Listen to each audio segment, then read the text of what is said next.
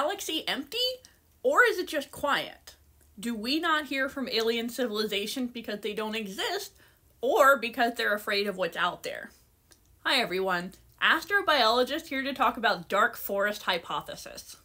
The dark forest hypothesis is one answer to the Fermi paradox. The Fermi paradox is that big, where's everybody else question.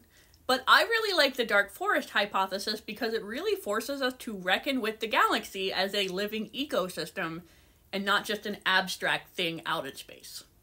Imagine you're lost in quite literally a dark forest. You don't know what kind of forest it is, you don't know what kind of wildlife is living there, you're lost. You can't see anything. Are you going to light a campfire? Are you going to turn on your phone flashlight? Are you going to yell for help? Will that get you rescued or eaten? The dark forest hypothesis posits that it is this scenario that is the reason we have not heard from alien civilization. We don't know what's out there. They don't know what's out there. For all we know, there could be galactic super predators that prey on young civilizations. Or there could be nobody at all. But it's this fear that keeps everybody quiet. This may seem like an idea that has no real world application, but it is a matter of great debate in the SETI community, or the Messages to Extraterrestrial Intelligence, or METI community. Some folks in that community, like the late Stephen Hawking, said that we should not be sending signals to extraterrestrials because an encounter like that could be an encounter like Christopher Columbus and Native Americans.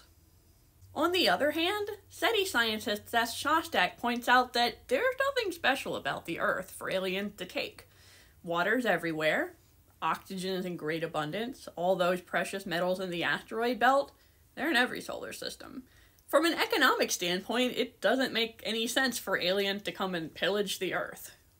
This is still a very active debate. In 2015, a bunch of astrobiologists signed a letter that says, hey, if you want to start sending messages to extraterrestrial civilization, we as a global culture need to talk about that first. But you can't really enforce that.